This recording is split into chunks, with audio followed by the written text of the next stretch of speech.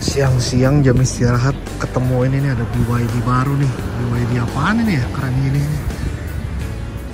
Dia lagi parkir mau mendekat tar dikira mau ngapa-ngapain lagi sama orang di sekitaran sini nih. Nah ini dia nih. Modelnya lumayan sih nih kayak kayak apa ya? Kayak Honda kayak Honda Jazz gitu gitu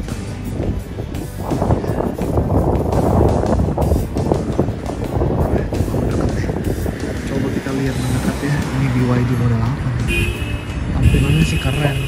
Kalau untuk baterai sih harusnya sih bagus ya karena kan BYD dia produsen baterai juga.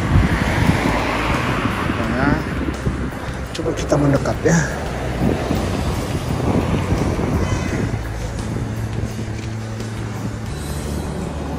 Wah susah mau nyebrang coy eh, dia berhenti. Waduh aku dari sama jalan tunggu dulu deh. Saya lihat nih. Oh ya. Dingin lagi wih eh gimana? Ah, lihat nih. BYD model baru wih ini dia tampilannya nih. Wah masih baru masih ada label-labelnya weh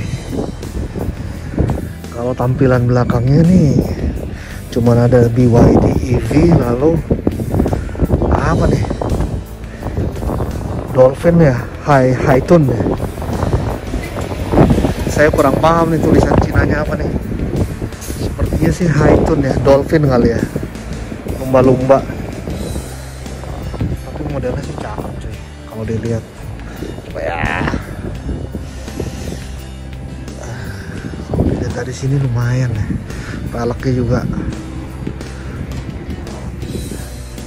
Oh saya kira ini velg kaleng. Bukan coy ternyata ini memang velg beneran bukan velg yang pakai dop gitu bukan. Wah boleh boleh boleh boleh boleh. Keren keren keren keren keren, iya nih abis ngebrowsing ngeliat tulisan huruf Cinanya ternyata ini namanya BYD Haitun benar Dolphin sudah confirm namanya BYD Haitun. Boleh boleh boleh nih. Nah kayak gini boleh nih dimasukin ke Indo nih. Lekuk-lekuknya bagus nggak kaku modelnya weh cakep cakep cakep. Boleh nih. Kalau di Indo kalau harganya bersahabat calon laku juga nih model ini nih. Soalnya lekukannya bagus. BYD Haitun. Atau BYD lumba-lumba Dolphin.